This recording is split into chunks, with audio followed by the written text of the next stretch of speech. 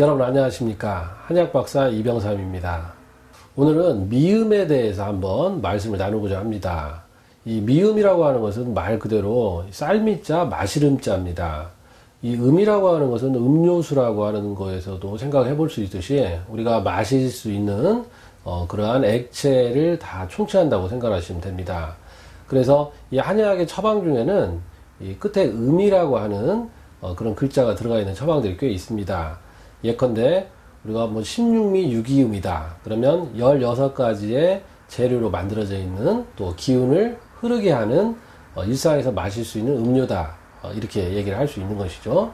또한 음자라고 하는 그러한 처방도 있는데 이 음자라고 하는 것도 마시름자에 뭐 아들 자자를 쓰게 되는데 이것도 일상에서 음료처럼 마실 수 있는 그런 음료를 얘기합니다.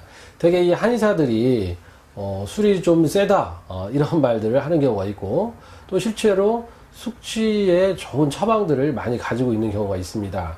그러한 처방 중에서 대금음자라고 하는 처방이 있는데 이것도 마찬가지로 대금이라고 하는 것은 어, 이 금, 황금, 돈 어, 여기에 대응할 수 있는 어, 그러한 음료다 얘기를 하는 것입니다. 그래서 이 대금음자를 다 상비약으로 놓고 그 전날 이제 과음을 했거나 했을 때 아침에 어, 그 대금자를 마시고 나면 거뜬하고 이렇게 되는 경우가 있죠.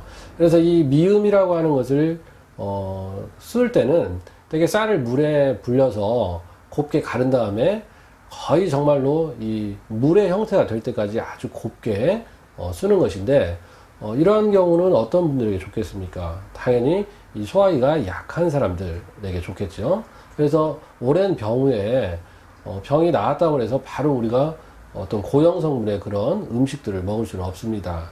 이러한 경우는 아주 부드러운 미음을 먼저 시작을 해야 됩니다. 그래서 이 단식이나 어, 또 오래돼 오랫동안 금식을 하고 나서 바로 어, 이런 어, 보통식을 할 수 없기 때문에 이 미음을 먹게 되고 어, 또한 이 유아들이 되게 이유식을 시작할 때도 미음으로 하는 것이 좋습니다.